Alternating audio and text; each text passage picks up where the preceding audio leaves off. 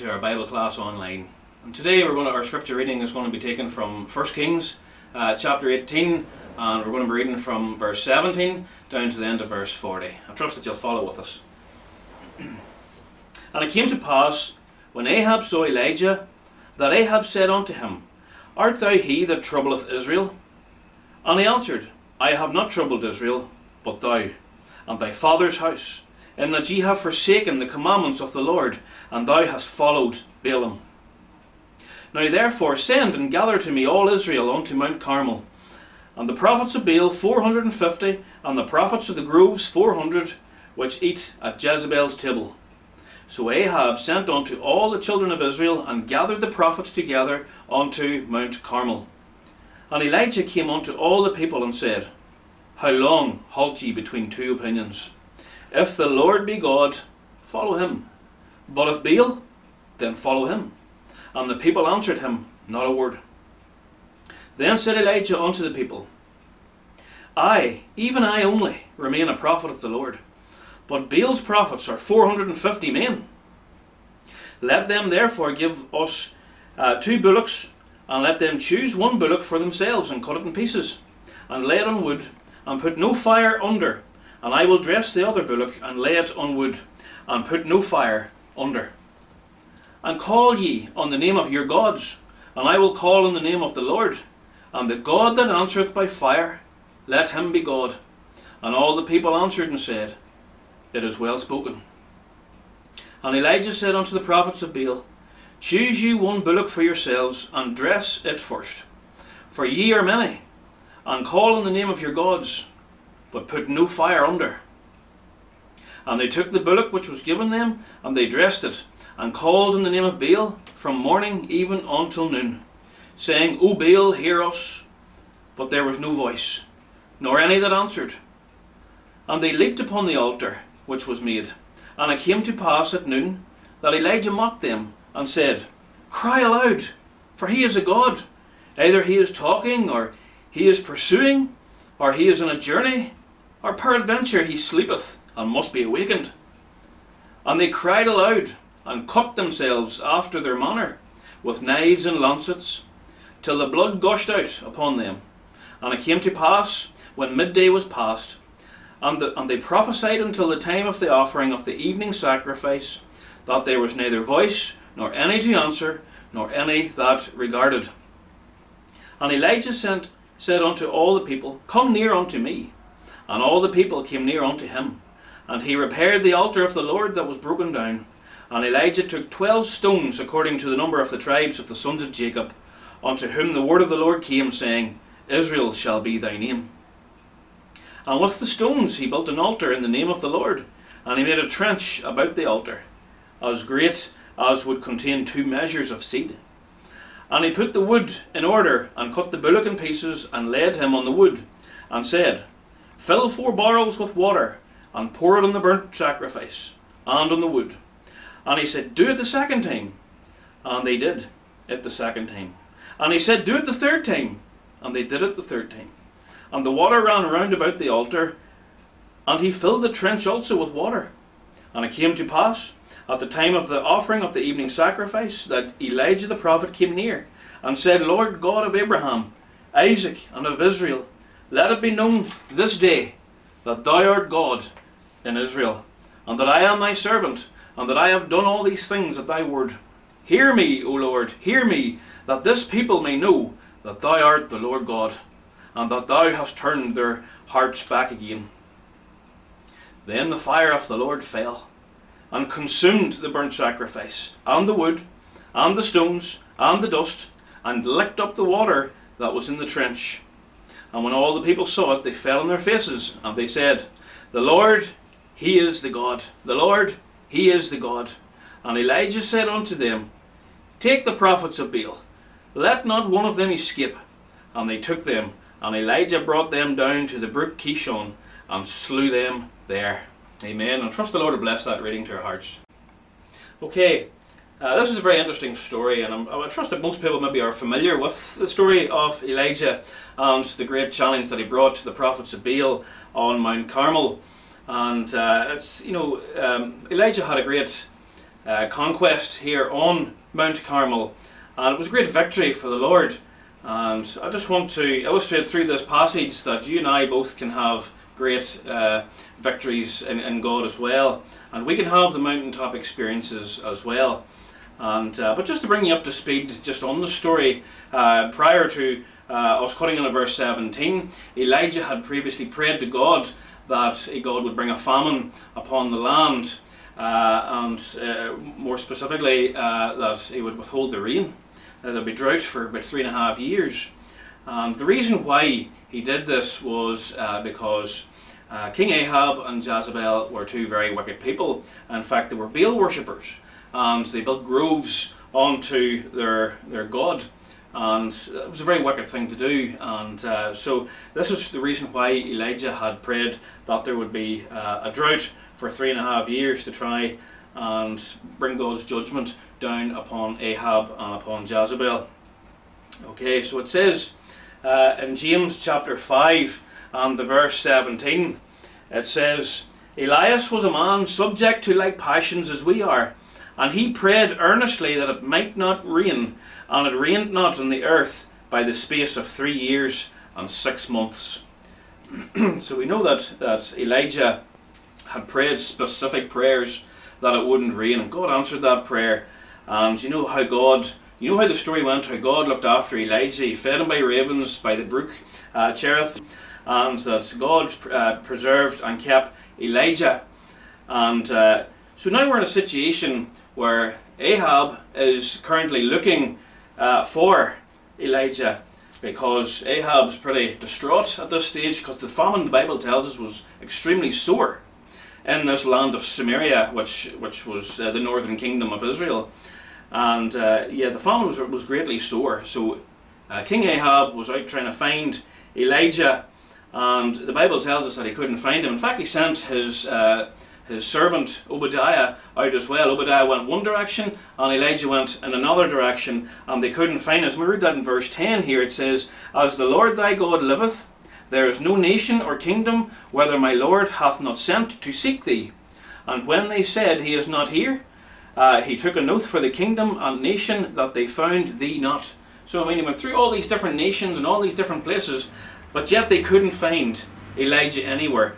And they were seeking Elijah because they wanted to blame Elijah. In fact, they were blaming Elijah for this current situation. It was Elijah's fault that it, uh, there was no rain uh, during this particular time. But Obadiah actually came across Elijah. And Obadiah met up with Elijah. And Ahab, Elijah had said to Obadiah, Go and tell Ahab that you have seen me and bring him to me.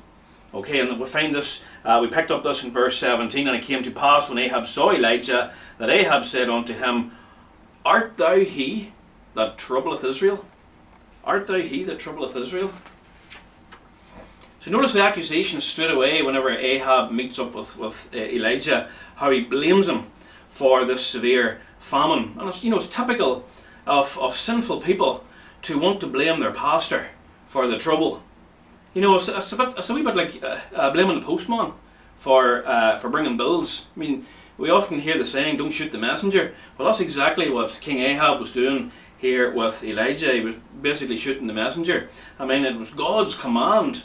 Uh, you know that that it was God's commandments that Elijah was upholding, but it was it was God's commandments that Elijah was disobeying, and uh, so uh, and this this kind of maybe I mean, absolutely, it wasn't Elijah's fault by no stretch of the imagination. It is most certainly not Elijah's fault that it didn't rain. Now, yes, Elijah prayed that there would be no rain, but that doesn't make it his fault. Okay, King Ahab.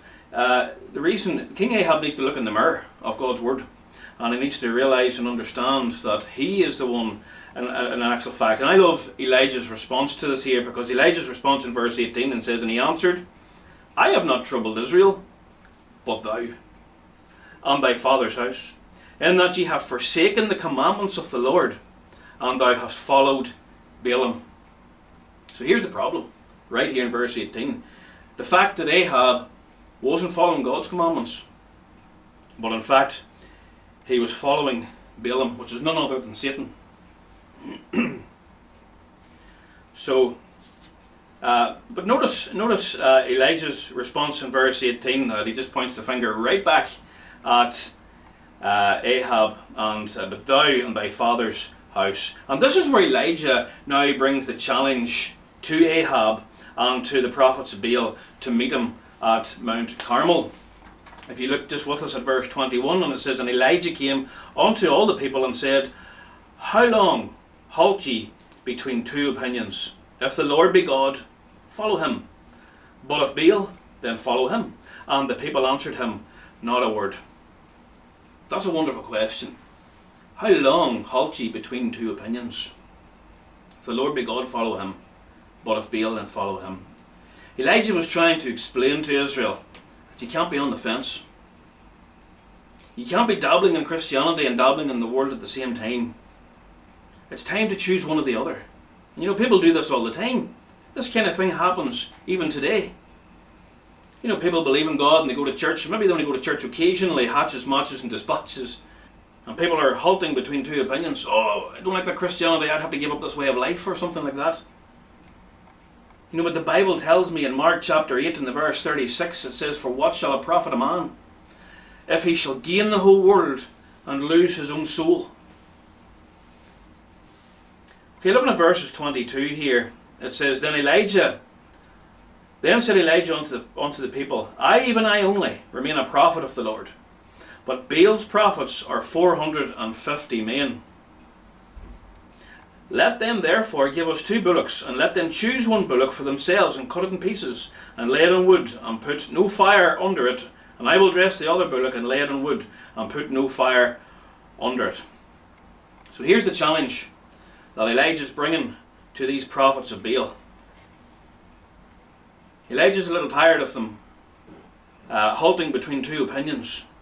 So he brings this challenge to them to meet him up on Mount Carmel and that they were all going to take a sacrifice and whichever God, whichever God answered by fire was the true and living God. So Elijah, like many people who take a stand for the Lord, probably felt a little alone at this time. I mean, notice what it said in verse 22 that Elijah, then said Elijah unto the people, I, even I, only remain a prophet of the Lord. But Baal's prophets are 450 men. And quite often when you take a stand for the God, for, for God, you can, you can feel very much alone. You can feel as though maybe nobody else agrees with you. You know, and the devil would try to make you feel like that. He would try to make you feel that, well, you're the only one that has this opinion. But look, there's 450 people who have a different opinion than you. This is the time where you've got to stand strong. And your faith has got to be uh, rested and founded upon God and upon His Word. Elijah's faith here was great. It was great. But isn't it, is it powerful how the devil would make you feel that you're the only one that thinks this way? Uh, and maybe Elijah was going through that right now. But I'm glad that he stood strong and he stood firm in his beliefs because it paid off. But there was 450 of these prophets of Baal. But when you know the truth of God, and you have on the breastplate of righteousness, you can stand with boldness just like Elijah. And Elijah brought this challenge to these false prophets. So both of them were to build an altar unto the Lord and to lay on a bullock upon this altar. And the challenge was that they were not to put any fire on it, but that was they were to call upon their God to bring the fire. So we look at verse 24, it says, And call ye on the name of your gods, and I will call on the name of the Lord, and the God that answereth by fire, let him be God. And all the people answered and said, It is well spoken. The God that answereth by fire, let him be God. So Elijah kindly let the prophets of Baal go first. And the Bible says in verse uh, 26, it says, And they took the bullock which was given them, and they dressed it, and called in the name of Baal from morning even until evening, saying, Baal, O Baal, hear us. But none did hear. I love the bit when, when Elijah starts to mock the prophets of Baal. Uh, and maybe you think that that's, that's a little, maybe we shouldn't be doing, doing, doing them sort of things, but just, the sarcasm that Elijah was using here, it, it makes me laugh. But uh, I find it very interesting. It, it says uh, in the verse 27, And it came to pass at noon that Elijah mocked them and said, Cry aloud, for he is a God. He is uh, maybe talking, or he is pursuing, or he is on a journey, or peradventure he sleepeth and must be awakened. Okay, so Elijah is kind of having a bit of fun with us here because Elijah's standing back and he knows that they're worshipping false gods. And Elijah knows the truth. And that's why he can stand there with boldness and mock these prophets of Baal. And these, these prophets of Baal were very, very serious, very, very devout to, to their cause, and very religious people. And the Bible even tells us here in the verse 28 that they were cutting themselves and throwing themselves even upon the altar to try and get Baal's attention. But uh, you can, you can sense the sarcasm through this passage on Elijah's voice, and I think it's very remarkable. But in verse 28, it tells us that they were, you know, and they cried aloud and cut themselves after their manner with knives and lancets till the blood gushed out upon them. It says they're after their manner. So obviously this was a custom to them. This was something that they'd done in their religious practices. They were cutting themselves. And the, the blood was gushing out of them all over this sacrifice. These men were serious. These, these men were really, really devout and serious about their religion. Very, very serious. And you know, you, you find out as you read through scripture that, that and even today, that most of these devil worshippers, these Baal worshippers, they're all involved in this practice of cutting themselves. And in fact, they, they, they probably love death as well.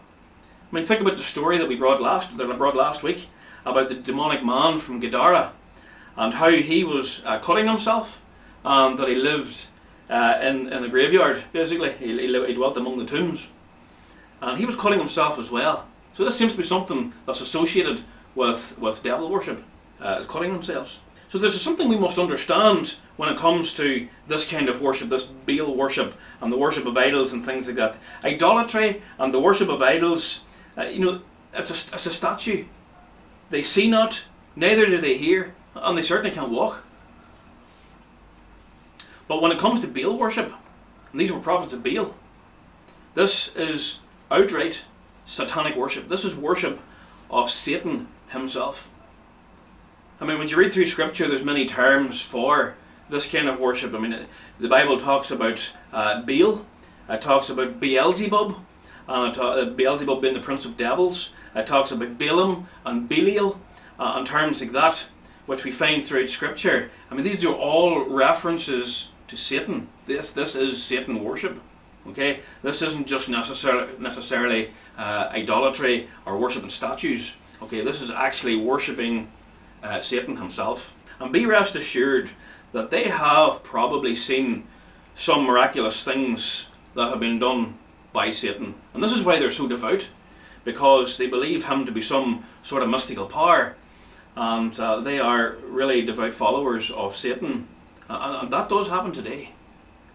There's nothing new under the sun.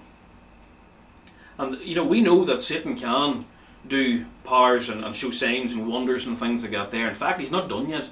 When, when we read through the book of the Bible, and especially more specifically the book of Revelation, in Revelation chapter 13, the Bible tells us something that's going to happen in the future, that uh, the devil is going to perform some uh, signs and wonders. Just listen to this here in Revelation 13, and from the verse 11, it says, And I beheld another beast coming up out of the earth, and he had two horns like a lamb, and he spake as a dragon, and he exerciseth all the power of the first beast, beast before him, and causeth the earth and them which dwell therein to worship the first beast, whose deadly wound was healed. And he doeth great wonders, so that he maketh fire come down from heaven on the earth, in the sight of men, and deceiveth them that dwell in the earth by the means of those miracles which he had power to do in the sight of the beast. So there we see something that's going to happen by none other than Satan himself uh, in the book of Revelation, which is, is the, the time period of tribulation, which, which we're probably not that far away from. What we see is that the devil is going to actually imitate what actually happened here in Mount Carmel, where he literally can bring fire down from, from heaven. And, you know, don't underestimate the power that Satan has. You and I can't stand against it.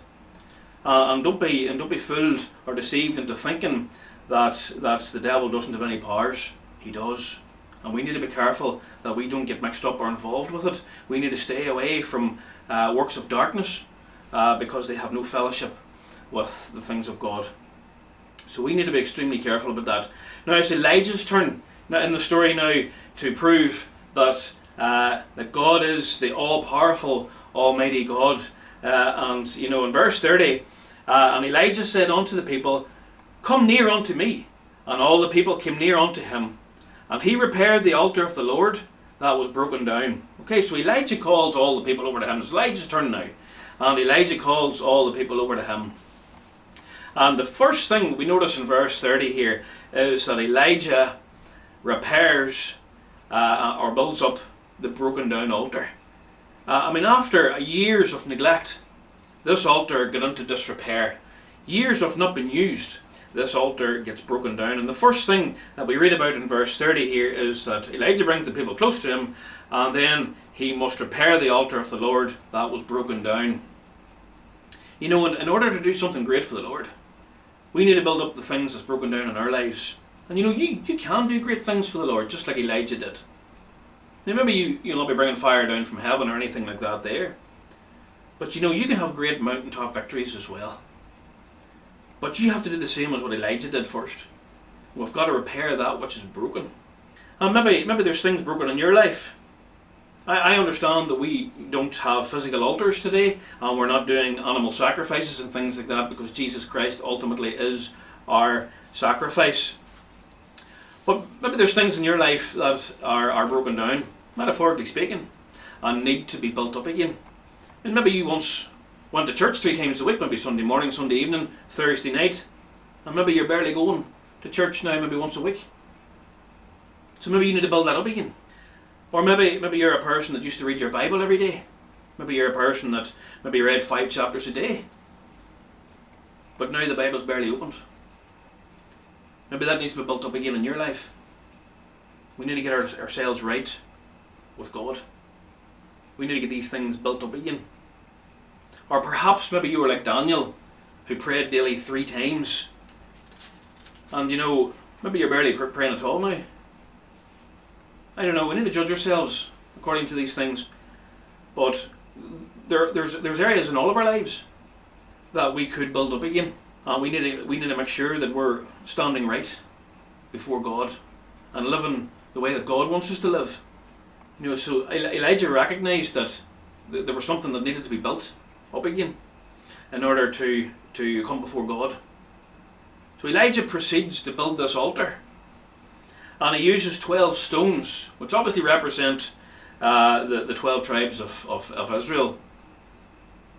And if you notice there in verse uh, verses 33 and 34, it says, And put and he put on the wood in order, and cut the bullock in pieces, and laid him on the wood, and said, Fill your barrels with water, and pour it on the burnt sacrifice and on the wood. And he said, Do it a second time. And they did it the second time. And he said, Do it the third time. And he did it the third time. And the water ran round about the altar and filled the trench also with water. Notice uh, that Elijah is dosing this thing in water. Twelve barrels of water, in fact, was used to dose this thing, this altar, and fill the trench round about the altar as well. And maybe 12 barrels, I don't know, maybe it represents the 12 stones, the 12 tribes of Israel. Not sure why he used 12. But why use water in the first place? Well, it's very interesting because I, I personally believe that uh, Elijah didn't want any credit at all for this uh, miraculous event that was about to unfold on Mount Carmel. I believe that Elijah uh, wanted all the praise and all the glory to go to God, and he wanted to eliminate any possibility that anybody would have thought that it might have been him. And I'm pretty sure that Elijah would have been standing well back from this altar after he had dosed it with water and before he started to pray unto the Lord for fire. I'm pretty sure that he would have got everybody well back because I'm sure Elijah was expecting great things here, but also that he wanted to eliminate any possibility that it was him that somehow started the fire. So he was trying, I believe that that's what he was trying to do. He was trying to eliminate and make this a more miraculous uh, event whenever God did strike it with fire. And then, and then the Bible, Bible tells us that Elijah cried unto God. And I would have loved to have heard that prayer, but the Bible gives us the words of that prayer. And in fact, there's, there's 63 words used in this prayer. Listen to the words of the prayer that Elijah prayed. And it's found there in the verse uh, 30, uh, 36. And it came to pass at the time of the evening, or the offering of the evening sacrifice, that Elijah the prophet came near and said, Lord God of Abraham and Isaac, and of Israel, let it be known this day that thou art God in Israel, and that I am thy servant, and that I have done all these things at thy word. Hear me, O Lord, hear me, that this people may know that thou art the Lord God, and that thou hast turned their heart back again. 63 words. Short, but you know something? Very powerful words. The Bible tells us in James chapter 5 and the verse 16 it says, The effectual, fervent prayer of a righteous man availeth much. This, this describes Elijah. The effectual, fervent prayer of a righteous man availeth much. And what happened? God rained fire. And you know, it didn't take a long prayer to get that fire to come down from heaven. Very short prayer, 63 words. And you know, uh, it, just, it just makes me think because Jesus actually rebuked uh, the scribes in, in Luke chapter 20 in the verse 47. He, he rebuked them for their long prayers and said it was just for a show. I believe that long prayers need to be kept to the closet. And you can pray as long as you want in the closet. But when we're in public, I, I think the prayers need to be fervent and effectual and uh, short. Okay, and you know Elijah was in a, in a very public place here, and he kept his prayer short. He wasn't long-winded, and he wasn't going down deep and staying down long and coming up dry or anything like that. It was short, it was to the point, and it was fervent and very effectual. And God answered that prayer with literal fire. I love when it says that in verse 38 Then the fire of the Lord fell and consumed the burnt sacrifice, and the wood, and the stones, and the dust, and even licked up the water that was in the trench. What a sight! I'd have loved to have seen that. What an amazing sight. Just to see the, the very stones been burnt and turning to dust. This water that was in the trench just been licked up with the fire of the Lord. What an amazing thing. And all the, all the praise and all the glory was going to God, not to Elijah. I mean, obviously, Elijah didn't want anybody to think that he was some sort of magician or wizard or something like that, that, that he was able to do this. He wanted all the praise and all the glory to go to God for this miraculous event. And the fire of the Lord came down, licked up the water. This, this was an absolute victory for the people of God, for Elijah. And again, you can have that victory. Maybe we'll not call down fire from heaven, but we can have the mountaintop experience. We can have uh, these kind of uh, mountaintop experiences, just like Elijah uh, experienced this victory in our lives, and we all need a bit of that. And you know, uh, how you know how you get your prayer life answered? I mean, how is your prayer life? Because Elijah's prayers were very effectual, and God answered with fire. And we want our prayers to be answered in a similar way, maybe not with fire, but uh, we, like Elijah, need to make sure that we're walking with God, first of all. And having our prayers answered is very conditional. Because the Bible tells us in Psalm uh, chapter 66 on the verse 18, it says, If I regard iniquity in my heart, the Lord won't hear me. So we need to make sure that our heart is right before God and that we're walking right before God and we've built up those things which are, are broken down in our lives and making sure that we're walking uh, in accordance to God's will in order to get our prayers answered. And here's another aspect to that if we're not praying at all, how do you expect to get your prayers answered? The Bible tells us in James chapter 4, verse 2 Ye have not because ye ask not.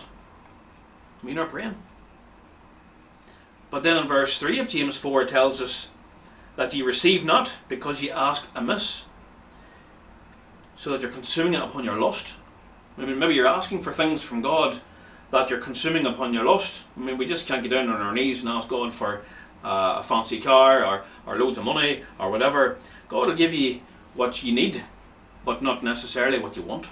Then finally, uh, look at verse 40. The Bible tells us, And Elijah said unto them, Take the prophets of Baal, let not one of them escape. And they took them, and Elijah brought them down to the brook Kishon and slew them there. Wow. 450 prophets of Baal, Elijah took down to this brook Kishon and slew them. You know, Elijah was no snow- snowflake. Elijah is a, a pretty heroic man, a pretty valiant man. It just amazes me that, that he was able to do this, to slay 450 of the prophets of Baal. You know, maybe, maybe you're sitting there thinking to yourself, well, why didn't he get them saved? Why didn't he preach the gospel to them? I mean, at this point in verse 39, it tells us uh, when all the people saw it, they fell on their faces and they said, The Lord, He is God. The Lord, He is God. And obviously, these prophets of Baal seen that the Lord is God. I mean, the Lord God was the one that answered by fire. So I'm sure at this point they know who the real God is. So why didn't Elijah just get them saved? Why didn't he preach the gospel to them and get them saved? And and uh, why did he have to take them down to this brook and slay them? What I want you to understand is that these are prophets of Baal, and that these prophets of Baal were sons of the devil. And there's no hope for such people like that. They're reprobate, meaning that God has rejected re- rejected these people. They had their opportunity of getting saved, but they made a lot of bad choices in their lives. And they've now chosen to become Satan worshippers. And when the when you're rejected by God, you're done. They had their opportunity, but have rejected. Sons of Belial. I trust that this has been a blessing to you. Uh, I need to end it there. Uh, there's so much more we could have said, and you know, again, we all have, we all can have these mountaintop experiences like Elijah. Uh, and if you, if you can remember the story that happened after this here, how Elijah had come off the mountaintop, he went into a very heavy state of depression, and and because Jezebel wanted to slay him, and Elijah fled after this. So obviously, after a mountaintop experience like what Elijah had, there's also going to be the valleys. There's going to be the downside of that. Um, there's going to be the depression. So we need to be we need, we need to keep a fine balance in these things. We need to understand that there is highs and lows in life. And whenever there's victories, there's also going to be the, the tribulation, and we need to be uh, ready for that. So I trust that this has been a blessing for you, and I trust maybe that you could apply some of these things even to your own lives, and uh, that make the changes and build up those things that are broken down in our own lives. Thanks for listening. Let's have a word of prayer just before we finish. Dear Lord, our Heavenly Father, we give Thee thanks and praise for Your precious word.